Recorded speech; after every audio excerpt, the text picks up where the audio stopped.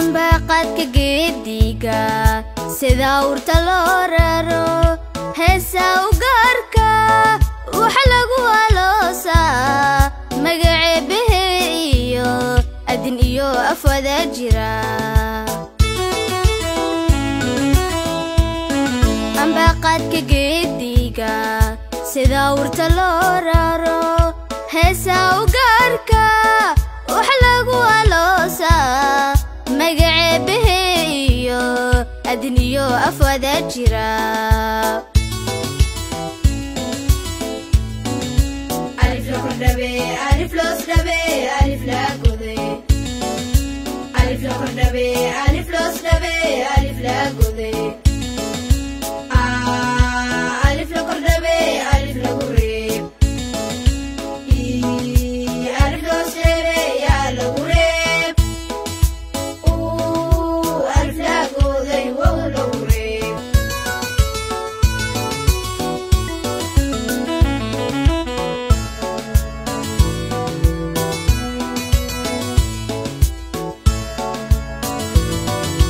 dhammaan xubnaha golayaasha dowladda ee golaha wasiirada iyo baarlamaanka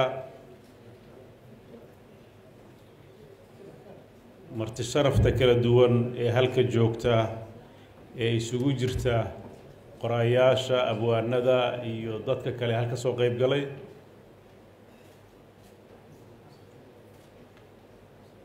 naadiga akhriska iyo qoraalka ee nugaal iyo dhallinyarada ururka dhallinyarada ee nugaal oo eventiskan qabanqaabiyey ama bandhigan qabanqaabiyey maktabadaha ka soo qayb iyo dhammaan qoraayaasha soo bandhigi doona iyo hal abuurayaasha halka isugu yimid dhammaantiinba waa salaamantiin. Runtii waa wax aada u weyn una qiimo badan in kulamada noocaan oo kale la qabto oo ka qayb qaadanaya mustaqbalkeenna quruxda badan ee aan kulligeen rabno inaan ka wada shaqeyno. Waxaan rabaa si gaara inaan halka uga salaamo ugana mahadceliyo yuusuf shaacir oo runtii qeyb weyn ka qaata kobcinta afka iyo dhaqanka oo aada isugu howla sidii bulshada soomaaliyeed ay u heli lahayd aqoon saxiix ah oo ku dhisan dhaqankeeda iyo akhlaaqdeeda meeshaan maanta waa maalinta wax la akriye maalin hadal maaha saan u malaynaya saas ma ahayn. Buwaag baa la soo bandhigo in wax la akriyaa la rabaa. Hadalku muddo badan baynu hadlaynay laakiin waxaan rabaa halka dhowr qodob inaan aan ka sheego. Horta waxaan rabaa inaan uga mahadceliyo inta isku dayday in ay qoraal dhigaal ah bulshadooda isoo bandhigaan ama kuwa qoraallo alifay ama kuwa qoraallada tarjumay. Dabcan waxaan dhiirigelinayaa tarjumidda inaad luqadaada wax ku akhrisid waxay ka fiican tahay luqad kaloo aad taqaanid inaad wax ku akhrisid. Maxaa yeelay saameynta ay kugu yeelanayso markaad luqadaada wax ku akhrinaysid way ka duwan tahay. Luqadaha kale markaad wax ku akhrinaysid.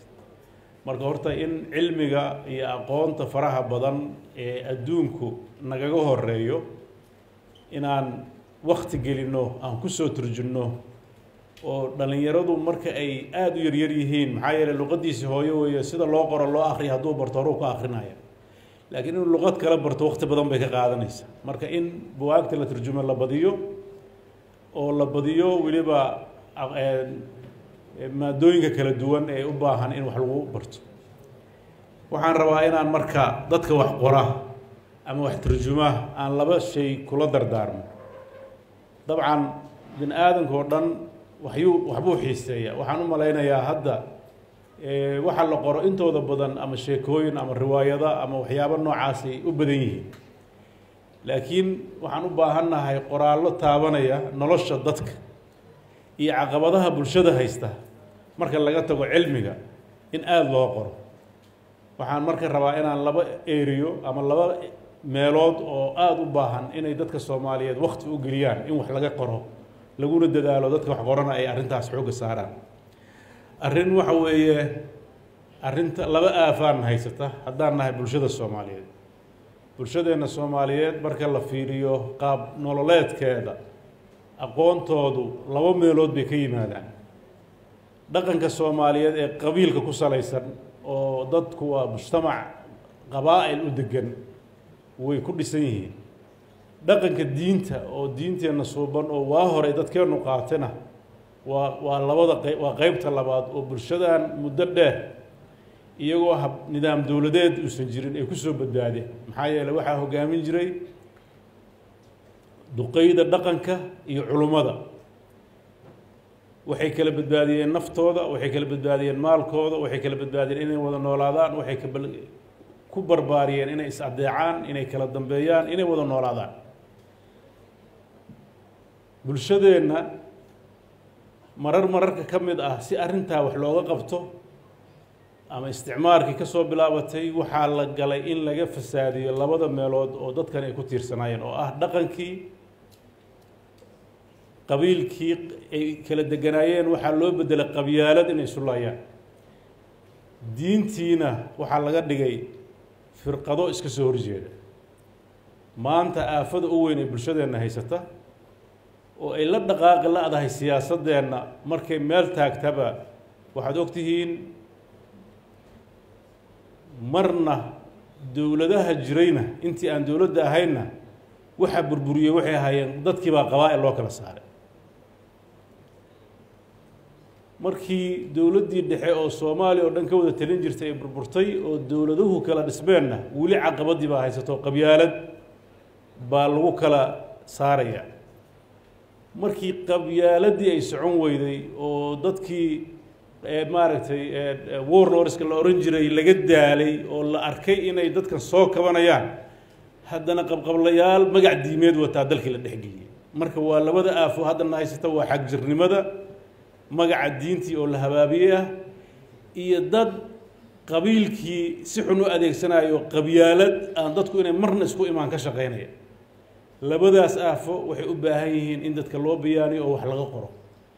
Waxaan u baahannahay in lagu dhiirado dhaqanka xun ee xagjirnimada ee bulshadeenna halista ku haya iyo ceebahooda iyo dhaqamadooda xunxun in bannaanka la soo dhigo oo laga baqi qoraallo laga soo saaro doodo laga qabto falal xumada lagu samaynayo ama xadgudbada xadgudbiyada lagu samaynayo magac diinta oo loogu geysanayo gab hadda waxaan maalmahan qaatiyaan ka taagannahay gabdho yaryar oo la leeyahay dugsi qur'aankii baa lagu furxumeeyey. Xaggee xaggee loo xaggee loo cararayaa oo harsan marka. Soo khatar maaha.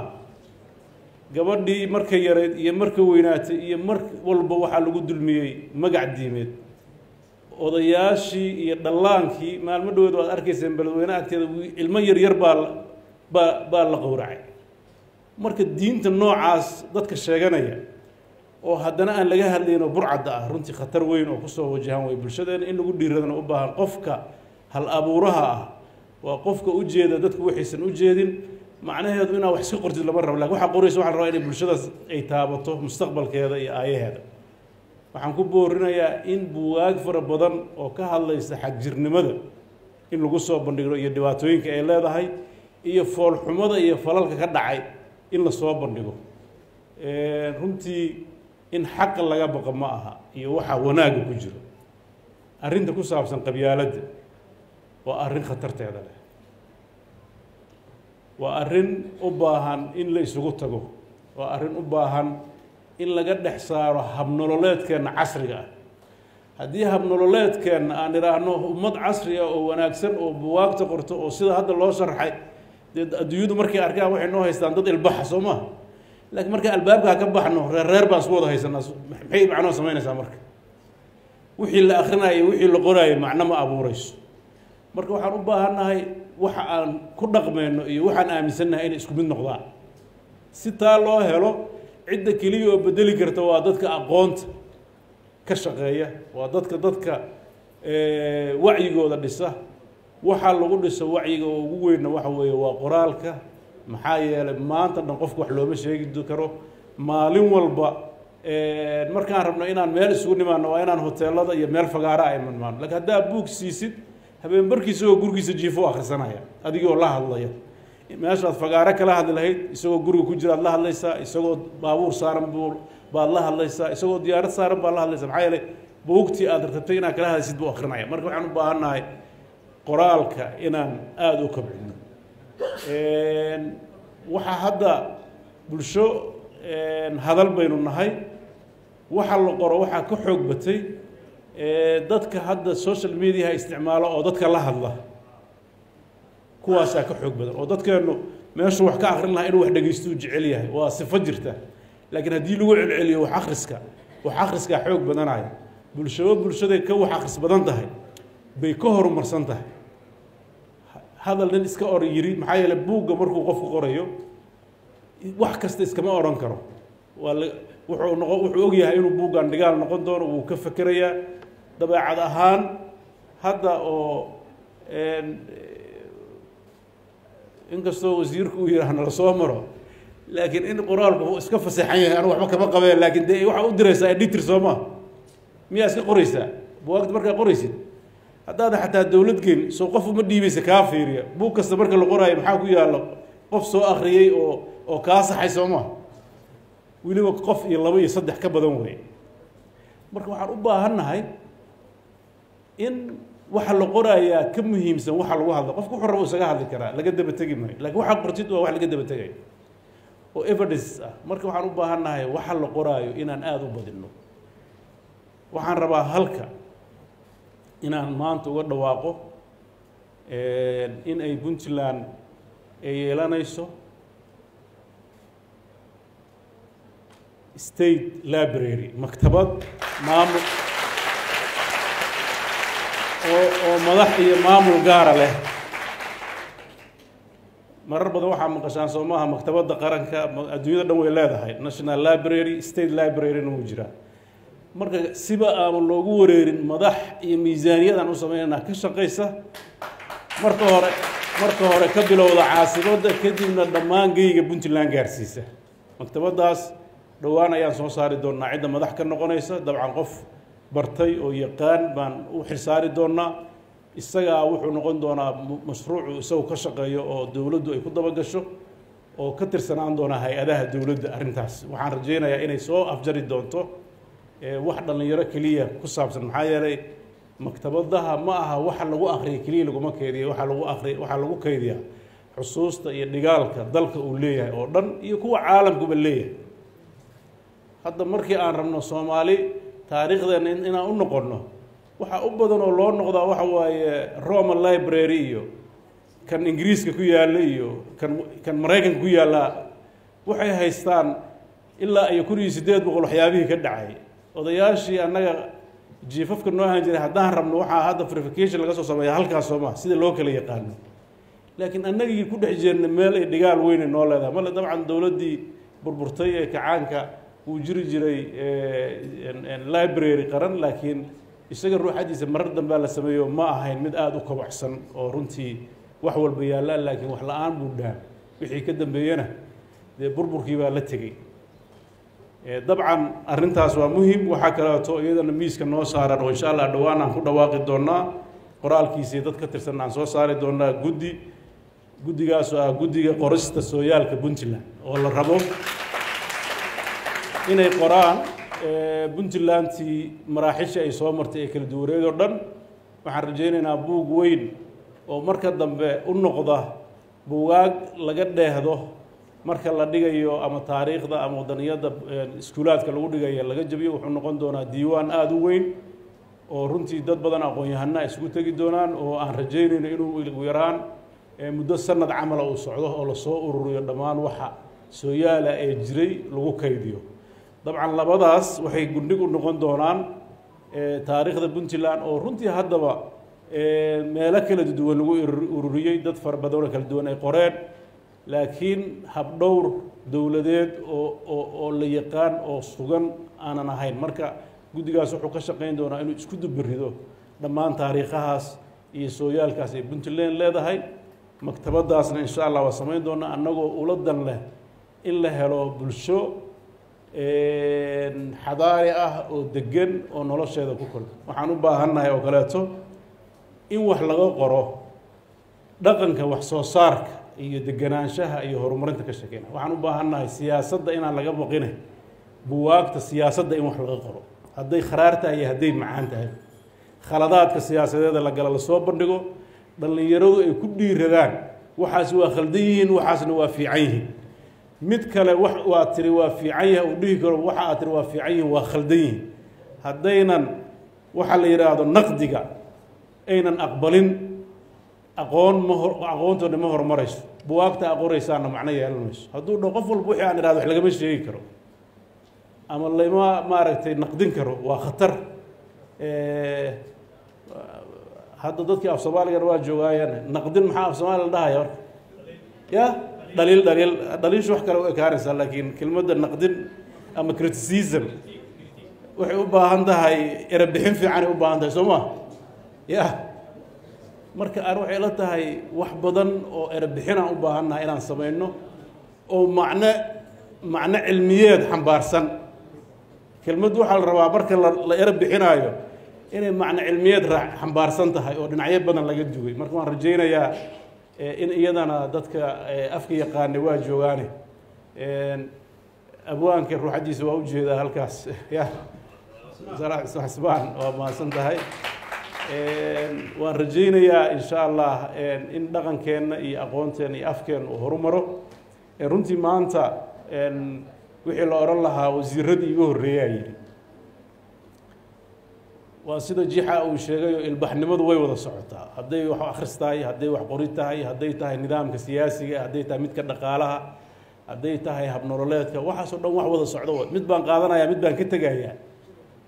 Dee nolosha isma kamilayso waxa ugu weyn oo hogaamiyo ummad maskaxda hogaamisana waa waa siyaasadda. Siyaasad hab habdhaqankeenna siyaasadeed iyo nolosheenna siyaasadeed haddaysan deganayn deganaanshaha aan raadinayno naftirkiisa. Waa waa uun waa waa isku day iyo dadaal mooyaane meeshii la rabay lama gaari karo. Marka waxaan rajaynayaa intan halka fadhido waa intii aqoonta saaxiibka u ahay. Weliba aqoonta waa kala duwan tahay intii curinta lahayd wey inta wax curisa.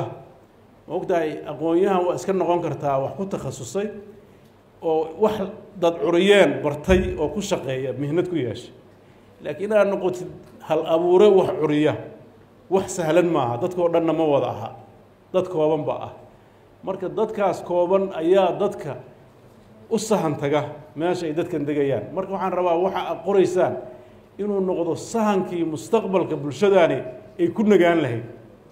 Maxaa yeelay waad aragteenoo waa degi la-nahay soo maaha meel kasta hala jooga waa la ysdhaamaa uun mooyaane weli waa la degi la-yahay waana dabeecad adduunyadu maray. Hal mar lama rabo in la dego. Somalilan meelaha kale waxay uga horeysaa dhinaca dhinaca dimuqraadiyadda laakiin iyada naftirkeeda weli waxay ku jirtaa barasho hab dheeri ah maalinba waxbay saxaysaa. Puntland hadda dabaday haysaa soomaali inteeda kalena way maraysaa marxalad waxaa la gaarayaa dadkani uu nidaamka muddada dheer ku soo jireen oo mujtamacan kala qaybiyey oo kala qoqobay oo kii dhashaba lagu akhriyey in laga guuro. Oo meesha uu wax ka qaadanayo inaysan noqon meelaha qabyaaladdu ay qurunsatay ee uu ka qaato meelo caafimaad qabta oo nolosheeda maxaadan ugu jirta bays u ah. Runtii dhallinyarada fursaddaas haysata dabcan inaad idinka naftirkiina fursaddaan heshaan dad baa ka soo shaqeeyey oo ku soo dadaalay. Oo xilligiinnii oo kale dhallinyaro ahaa maanta idinka waxaa la rabaa taa ka shaqaynaysaan kuwa dambe inay u aayaan. Marka waxaan aada inigu boorinayaa inaynan noqonin dameerkii malabka siday xikaayadiisi oo kaleeto aan cil bugaag badan inaan soo bandhigno maanta dhan waxbaan qorna aan ku hayno. Ficilkeenniina uu isbeddel ku jirin. Halkaas waxay u baahan tahay in dib loogu fiiriyo. Marka waxaan u baahannahay waxa aan qorayno iyo waxaan akrinayno inay annaga naga muuqdaan. Weliba dhaqankeenna ka muuqdaan. Waa aqaanaa waxba tari mayso. Dadkeenna waxaa u badan wixii waa yaqaanaa laakiin kuma camal falayo. Waxaan u baahan mararka qaarkood waxaad arkaysaa wixii wanaagsanaa oo la bartay hadduu qofku dabca inuu dabakana dad baa ka hor imaanaya mar waxaa meesha in laga la-yahay il baa la iska ridaa war ummad dhan oo il iswada tuuraysa abwaan bal dhaqan kelmaddaas mahmaadaas dib ha loo akriyo iyada ruuxaddeeda haddii la dhaho qof walba oo dadka la mid noqo waa horumar diid saan u arko ani ha qofkii inuu hore u socdo ma rabo haddii la rabo halkaa joog caqligii iyo fakirkii ayaa la ayaa la xanibaya marka ruuxaddeenna mid baan odhan lahaayoo dadka dhaqanka ka shaqeeya mararka qaarkood si aan looga tegin iyo in dadka cabsiin.